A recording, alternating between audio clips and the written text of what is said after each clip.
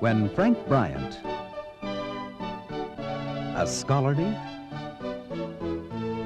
dedicated, Doctor, are you drunk? You don't really expect me to teach this when I'm sober. upstanding member of the academic community meets Rita, somehow their lives will never be the same. Oh, hello. I was just oiling it for you. He's her reluctant tutor. You're my tutor. But I, I've told you I do not want to do it. Why pick on me? I like you. and she's his most determined student.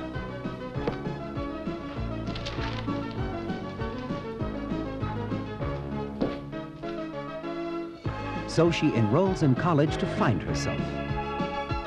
Wrong way. She wants more out of life. I want to look like that. Okay. Was that the book you're reading? Yeah, yeah. What's it called?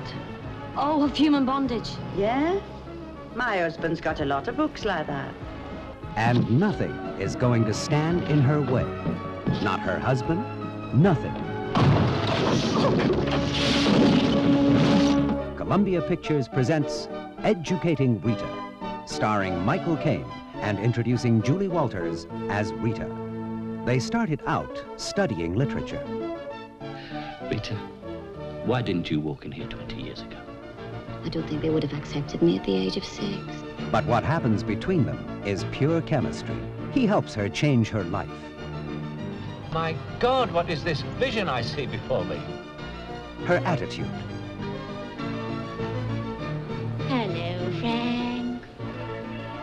He teaches her everything he knows. But he's the one who ends up learning a lot more than he bargained for. I hear good things about Australia. Why don't you come as well? Sometimes students end up being the best teachers. Educating Rita